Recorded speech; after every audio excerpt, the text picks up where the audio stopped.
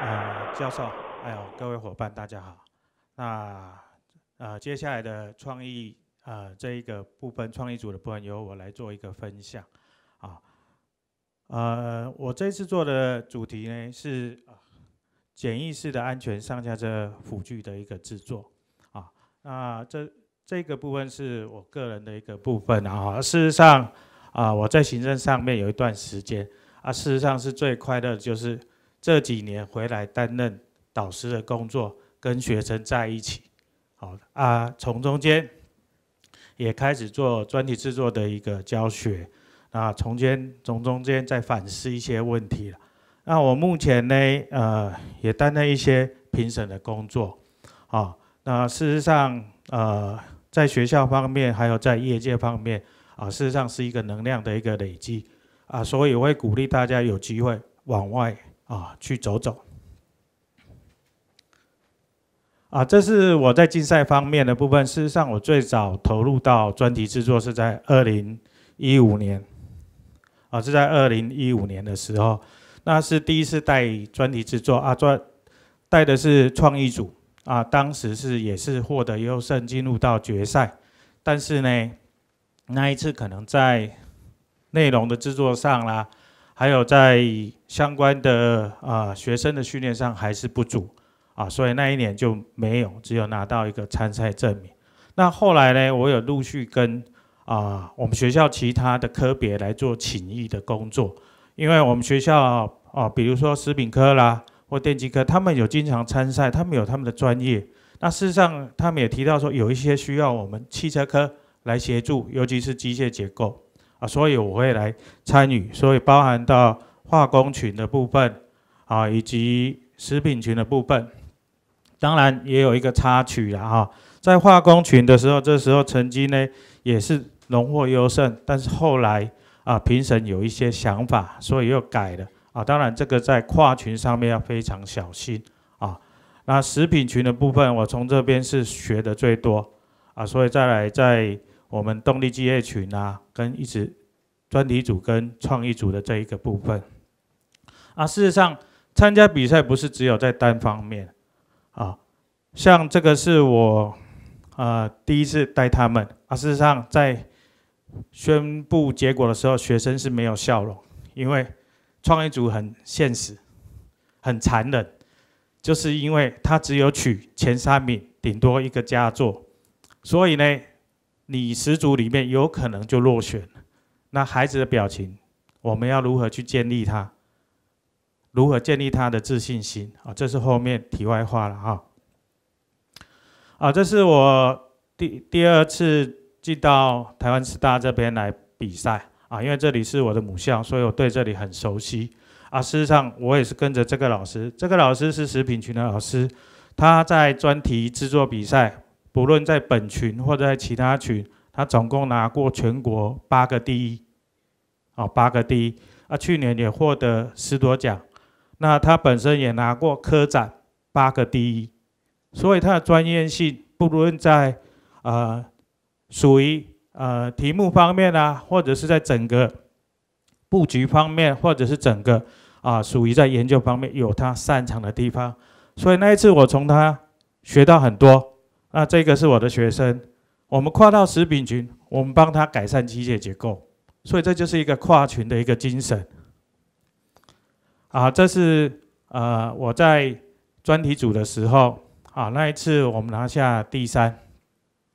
好，那当然专题组有个好处，有五个学生可以参赛，实际上对学生来帮助很大，因为工科竞赛或者其他比赛，有的都只有一名。一个学生，一个选手，啊，事实上你可以让五个人共同来参与，对他们来讲，事实上可以更多人啊，也让更多人参与的话，想法会不一样。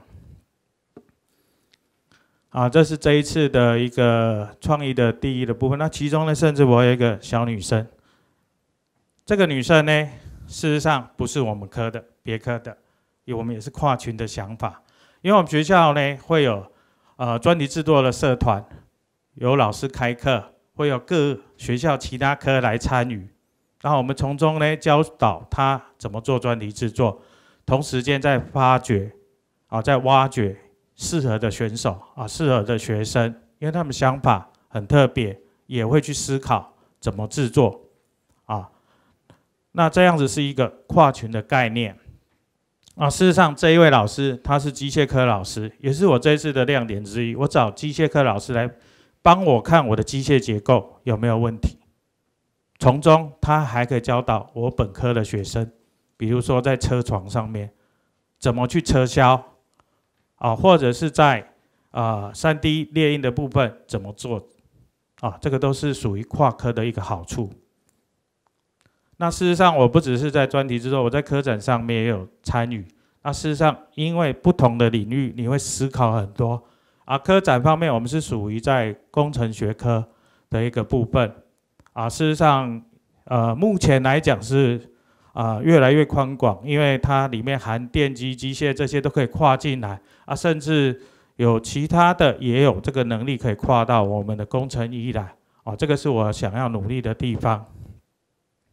因为不能每次只有佳作佳作二，最多到优等优胜，还没有代表我们的区域进到全国。啊，事实上小论文的部分我有参与，事实上就刚才前一组专题讲的，当学生没有得名的时候，我会请他们把资料整理一下。帮他们投到小论文，为什么？因为小论文上面稍微啊严谨性没有那么高，可是还是一个属于给校外的比赛，可以给孩子一个机会，所以他们来投稿，所以他们会有一些成绩啊。而事实上，我自己本身是属于全国技能竞赛的裁判长，那我本身也有之前有带过选手啊，刚好这几年是带我们的国手到国家啊到。国际上去比赛啊，事实上不只是看到我们国内的情况，也看到国外的情况，有很多是值得我们去学习。外国人家的思维跟我们的思维有很大的差异，他们的训练方式跟我们的训练方式，事实上真的有机会可以去交流一下。啊，这一个是我二零一八年的一个喷漆荣获的这个国手是亚洲赛银牌。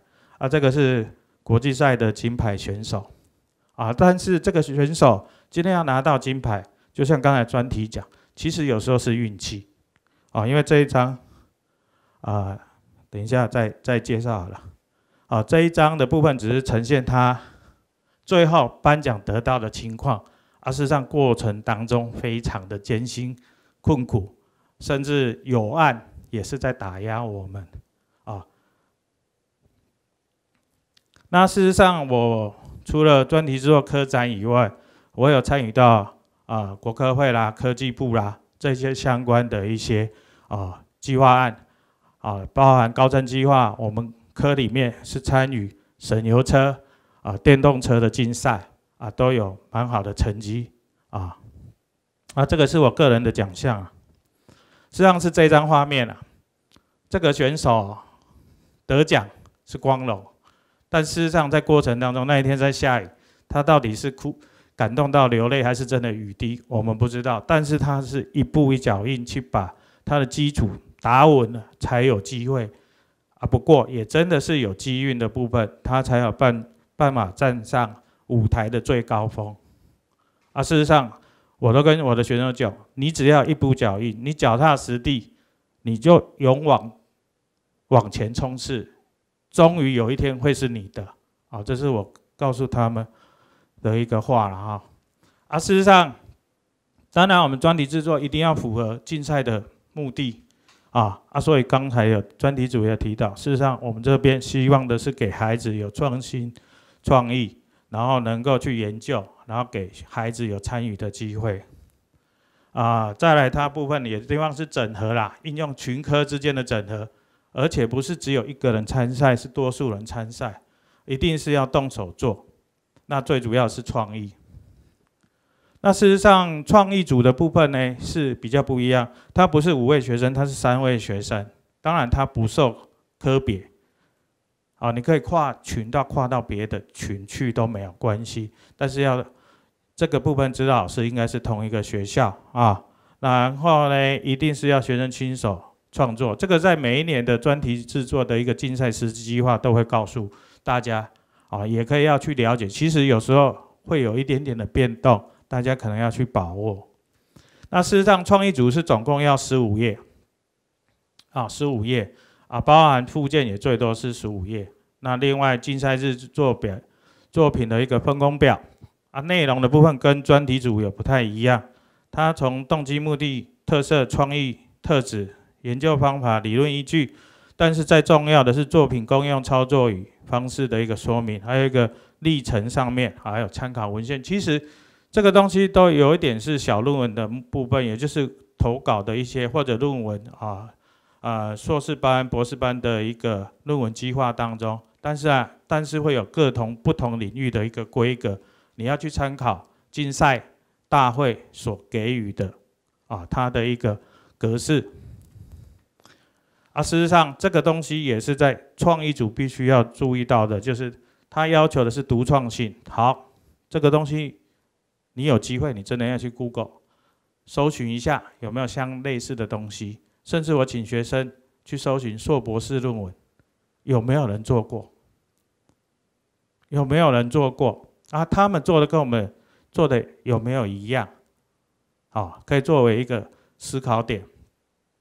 啊，再来实用性啊，商品化啦，DVD 的这个制作，事实上要符合大会的竞赛规则。啊，这个东西也都是一个评分部分。好了，在决赛的时候就不一样了，因为决赛的部分，他把独创性跟表达能力变成百分之五十，也就是说，他把 DVD 的制作的一个十 percent 放到这边来，这个是很重要的部分。所以你的训练学生怎么去表达，怎么回答问题，怎么在断点的时候、断片的时候，就是学生被问愣住了怎么办？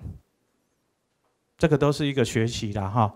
啊，最后是一个呃商品可行性的部分，所以这评分重点事实上在准备上真的要把握啊。啊，事实上最后一个海报，因为创意组的海报也不一样，只有一张，你怎么精简？你怎么精简内容？然后而且符合大会的规定，我相信这个也都必须要遵守啊，不要因为一个小小的疏忽会不会被扣分，或者会被判失格，这个东西都必须要注意。那当然，最后有一个奖励的部分，在这边就是说，啊，当然我们的竞赛部分有绩优增审的条件，我刚才有讲过，不管专题组的五个孩子，或者是创意组三个孩子，我们都可以帮助他往另外一条路，啊，因为本身学测有学测的成绩，但是绩优增审，你不是只有工科赛、科展比赛，我们的专题制作比赛也有加分的条件，啊。那当然，这个属于在奖状啦、奖金的一个部分啊，这个也是一种鼓励性质啊，哈，让孩子得到，哎，他们领到这一份啊，他得一得来不易的成果，有一点点的回馈，他们是很高兴的，而且他们可能会把它珍藏一辈子。那事实上，我做的这一个部分的主题啊，最主要，我们希望突破不要那么昂贵。啊，事实上可以，大家可以看一下。好，那在我们现有的部分来讲，如果要帮助一些弱势的人上车，一定要用到电动或者机械结构啊，这些都造价昂贵，甚至要改装车子。所以孩子他们为什么有这灵感，就是来自于那个小女生，她家里有长辈要上车很困难，所以他就提到老师，那五三米红环有什么方法可以帮助啊？年长的，或者突然之间脚受伤，不适合上到车子。可是这车子结构我们也不希望破坏，我们希望这一台车以后还可以载别人，所以他们有这样的一个构思。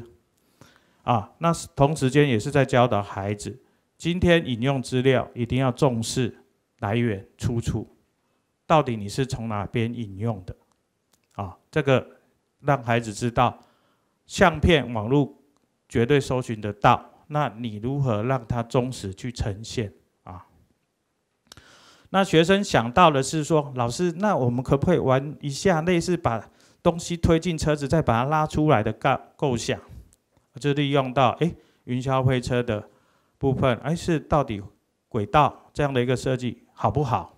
所以这是他们当初的一个构想。当然，这个都是要脑力激荡，要跟孩子一直一直讨论，一直讨论，让他慢慢累积有怎样的方式突破了，我们再来试做看看能不能成功。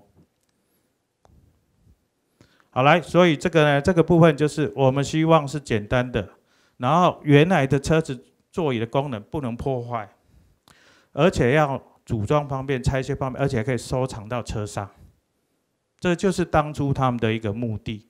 所以希望做到这一个辅具，但是要结合到我们动力机械群的一个概念啊。那它的特色就是运用滑轨啊，容易组装拆卸啊。实际上我们找到的滚轮啊，在我这边桌桌面上，哎，就有一般市面上看到的定位式的、万向式的，可是这两个对我们适不适合？要不要改良啊？所以他们希望后来去发现，啊，我们真的要找到的是哪一种的万向滚轮最适当，可以前进后退。因为把啊弱势的人或者身体不舒服的人推上车，总是下车要下来吧，要把它拉下来，怎么拉？所以他没有想到这个。那当然在这边技术上面，诶，包含三 D 列印，我就请机械科老师来帮忙，因为他们的设备啊齐全。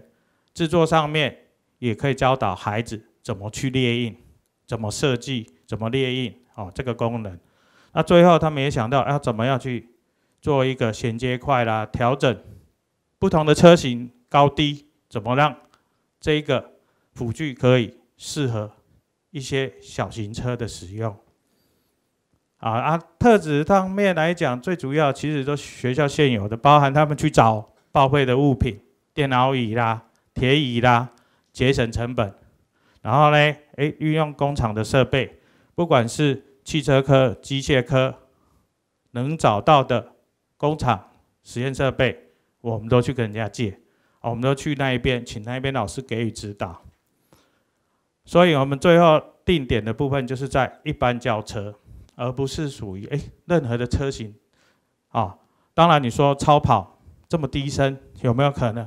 如果开超跑的人不会再把弱势或者身体不舒服的人直接啊把他搀扶到车上，这个有困难度太高，因为重心太低了啊。那当然，这个是我们希望设计简单、容易拆卸，希望让驾驶者或者是乘坐者都能够享受这种在车上的感觉，被尊重啊。好来，这个是属于我们在流程上面，事实上这个东西都是大家会去做的。怎么从一个发想，怎么去做研究的一个步骤，到最后测试、撰写实验报告。啊，这个是机械课老师帮我引导孩子怎么去做三 D 的一个建构，包含哎这个椅子，我们做了滑轨在上面，来怎么衔接，对不对？然后这个东西怎么样把它从椅子放锁固定推到车上，好，可以做。上下车的一个动作，这三 D 这是属于机械课老师帮忙我很多的地方。那事实上，他们的理论部分呢，运用的啊，就是属于我们的摩擦力，那滚动摩擦，还有我们的属于在后倾角的观念啊。那当然，这个部分是一般我们的后正后倾角，它负后倾角也有它的好处。啊，事实上，他们希望做的是可以自由度，在这个部分是前进后退用的，这是他们尝试做的第一代的一个滚轮设计。啊啊，这是你可以看到，他们是完全是全指，因为一般我们在推车上面，你可以发现哦，你可以房间的推车去看，要么就是可能前面两个是属于定位滚轮，后面两个是万向滚轮，那或者是呢，四个是万向滚轮。但是推的时候一定要有一个回转空间，它才可以往前推或往后拉。啊，事实上车上没有那么大的回旋空间，唯一好处用的就是这个垂直式的。啊，这个东西是孩子啊跟着老师慢慢讨论出来的，由他们动手亲自去做裁切、焊接、改成，因为市面上找不到有这样的一个滚轮。好，那这是我们的实习材料的部分，也都是在学校里面现有，或者是啊，在经费上面允许的范围啊。事实上，刚才陈如专题组刚才提到，学校是一个大家庭，那各处是如果能够来协助，经费上面事实上很比较充裕，科里面老师的投入，甚至其他科的投入也可以来帮忙我们，这样子，包含有一些材料，我是去机械科拿的。他们从来也不会跟我计较，因为用的是他们的实习材料费，但是他们愿意帮忙我们。啊，这当然平常的一个沟通协调，敦亲睦邻必须做好。好，来这一个就是我的一个学生他们做的，怎么样把这个东西放到车上，怎么把它推进去，怎么拉出来，这是他们由他们自己制作的。啊，那也影片也有他们拍摄，所以有一点点啊，没有那么啊，属于比较粗糙一点啦。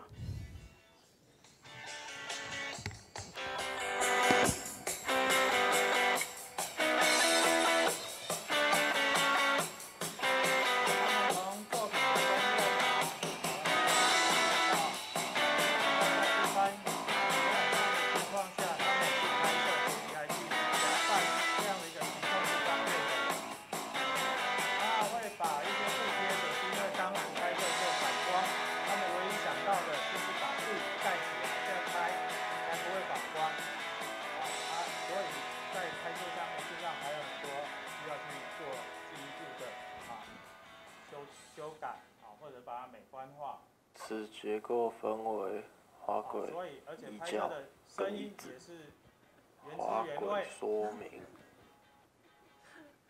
所以呢，他们没有经验。运用学校现有的旅馆，将其做成直轨与滑轨两个部分。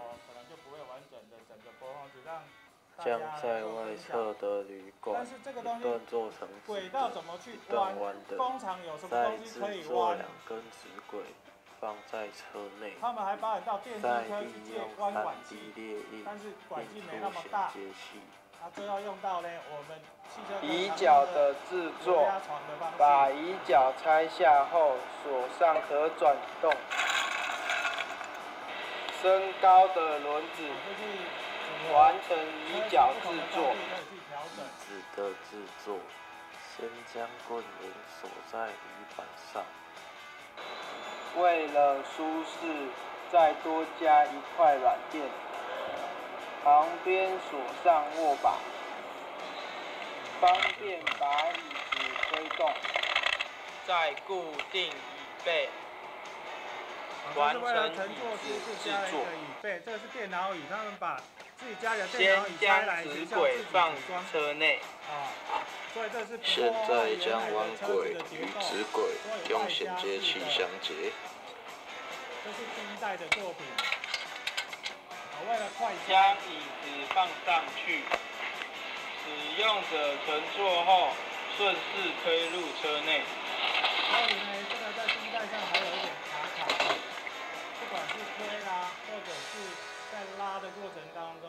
构思第一代在拉，而且比较费力。哦，他们当初想到的，因为滚动摩擦的阻力实际上还是很大。好啊，这是他们想到哎哎，可以开出这个让到车子的后行李箱，所以当人坐上去，他就可以下来把东西拆掉，然后就放在后备箱，把乘客带到目的地，再把它组装，再让他去做一个乘坐的部分。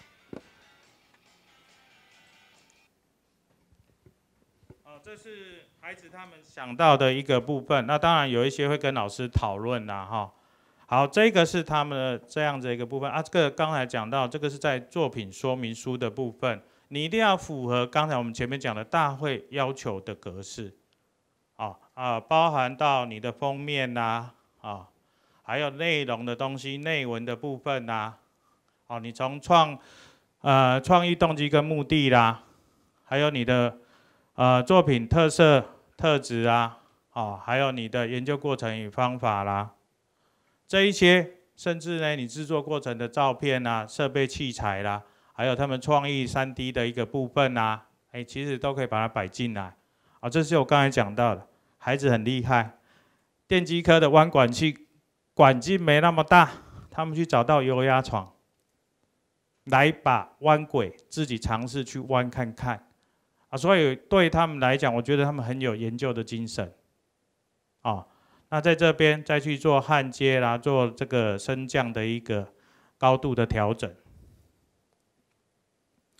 好，那再来呢？这边呢是他们的整个的另外一个部分，就是属于原理啦，啊，跟他们里面的描述啦。当然，一开始出来的版本啊，真的是啊格式啊很乱，而且也没有按照标准的啊大会要求的，所以呢，我会跟他们讲，请他们改，改完再送来，改完再送来。当然被我推了十几次。啊，慢慢成型，啊，最后当然我还会再稍微看一下，啊，才让他们做矫健的一个部分，啊，这个是原理的部分，啊，操作方式，因为创意组有本身你的操作的作品的功用，操作方式必须做一个描述，啊，在这边，啊，他们都做一个描述，还有做做历程的上面材料的准备啦，啊，还有他们把。制作的过程呢，做一些影片上，呃，做一些照片上面的流程的方面，方便评审了解，啊，方，然后呢，他们制作完之后，啊，最后呢，会有一个参考文献，我也希望他们是用第一手资料，好，那当然这个东西你尽量去收集，啊啊，如果真的网络上的，你还是必须要去依照大会的规则。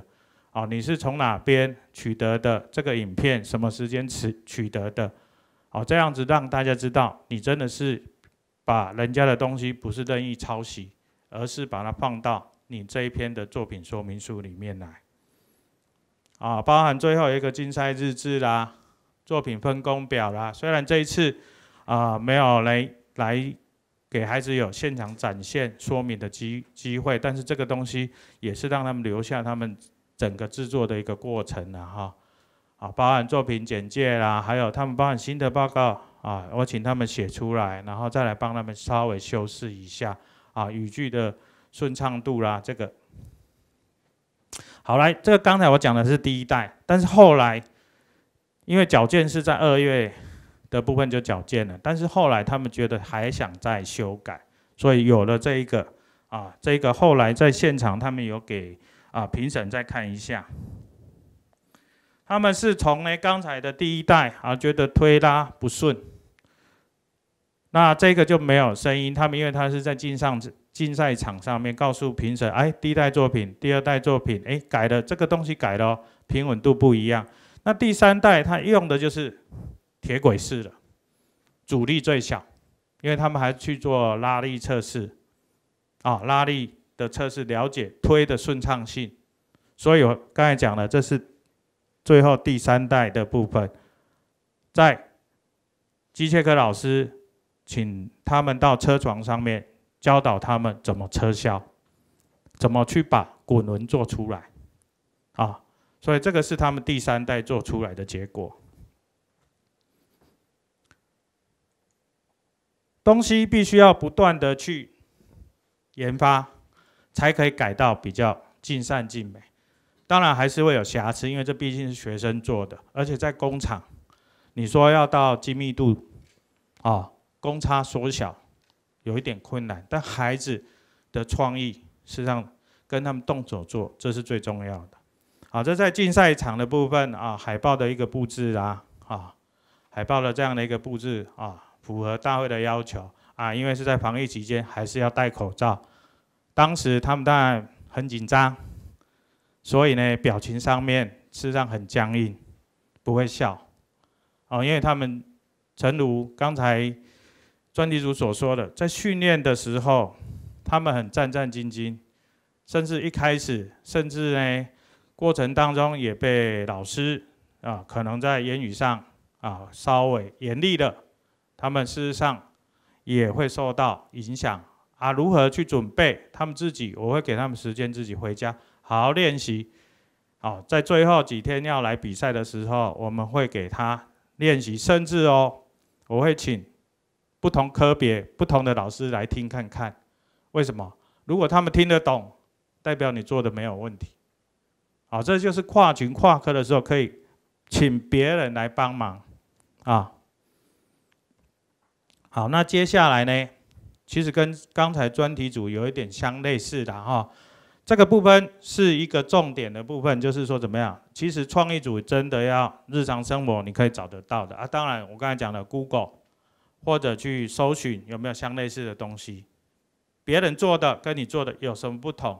你的创意一定要有，对不对？别人昂贵，你要能够改到符合我们高职学生可以做出来的。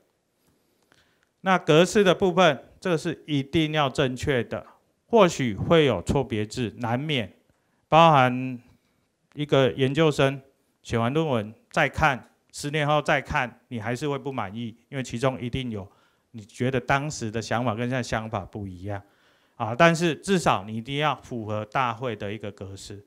那再来呢，影音介绍这个是学生动手拍的，但是还是要提醒他们，当然他们第一次拍出来不到两分钟，老师这样可以吗？我说你觉得嘞？你这样子让别人知道你要做什么吗？所以他们回去又开始想再拍、再做、再剪接，到最后我说好了，这样勉强可以符合大会规定啊。那这一篇我们这个影片我们就这样成交啊。那事实上过程当中，学生一定是动手做，但是呢，做的过程当中一定会有问题。老师你怎么样给予资技术性的资源？实际上，我这三个孩子在做过程当中，他们是不是上课时间做？他们是放学后时间做，甚至是假日回来学校做，甚至过年寒假期间的时候跑来学校做。啊，他们愿意付出，老师当然跟着来带他们，而是让学校也看在眼里。学校会说，老师都这么拼，孩子这么拼，好。经费上，我们绝对支持。那老师的部分，你的加班，我们会给你补休的机会。好，当然这个就是学校愿意做的部分啊。啊，最后呢，在练习的部分，孩子是一种学习，怎么报告，怎么调理性，怎么不紧张，甚至我跟你讲，回家对着镜子自己。自己把自己要说的东西讲一遍，啊，你觉得镜子里面那一个人可不可爱？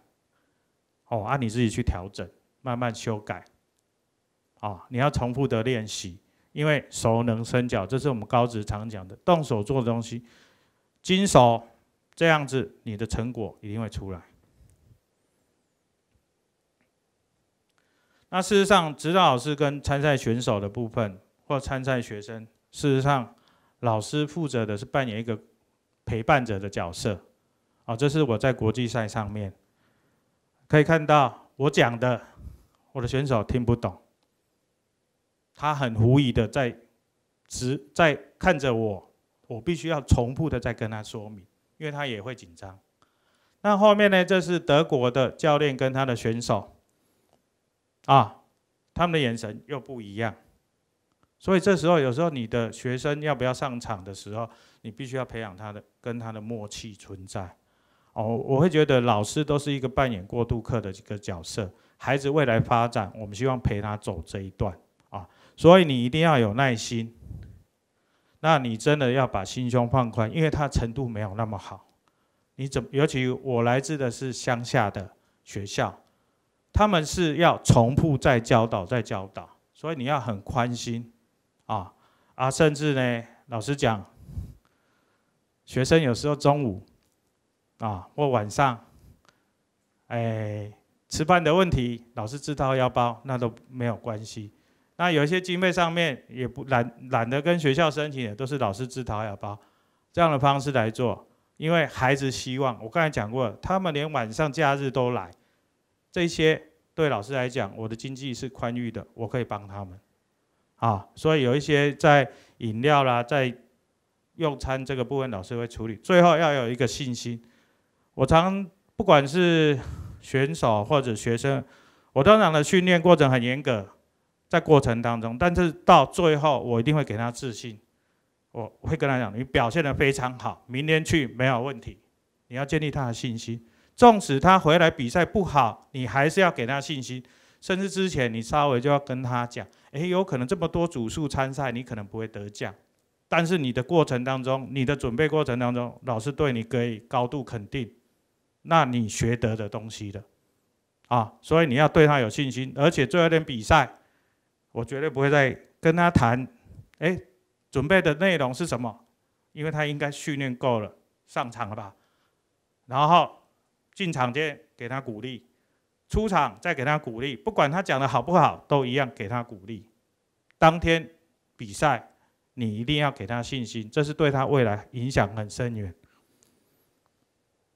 这次比赛呢，在我们学校上面的成绩算不错。